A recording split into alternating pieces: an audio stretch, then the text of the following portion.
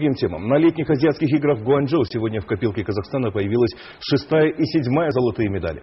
Авторами побед стали женская сборная Казахстана по регби и борец греко-римского стиля Нурмахан Таналиев. С подробностями из Гуанчжоу наш специальный корреспондент Галина Полевая. Борьбу за золотые награды на азиатских играх продолжают борцы, боксеры и легкоатлеты. Они уже не имеют права на ошибки добрать золотые награды. Вот их задача. Сегодня на Зяде борцы греко-римского стиля завершили выступление, причем очень важной победой. В категории до 120 килограммов финальную схватку выиграл Нурмахан Тыналиев. Бронзовый призер чемпионата мира победил хозяина ковра Лиу Дели – в двух периодах со счетом 3-0.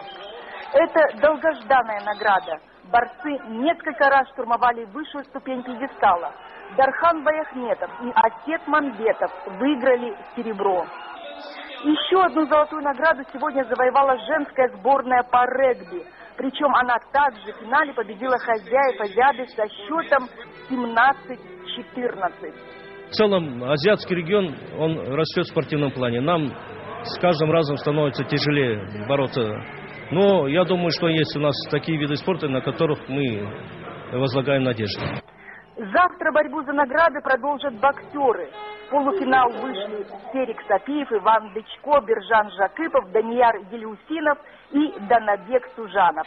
У каждого из них есть шанс на победу. Галина Полевая, Хасена Маркулов, Хабар, Гуанчжоу.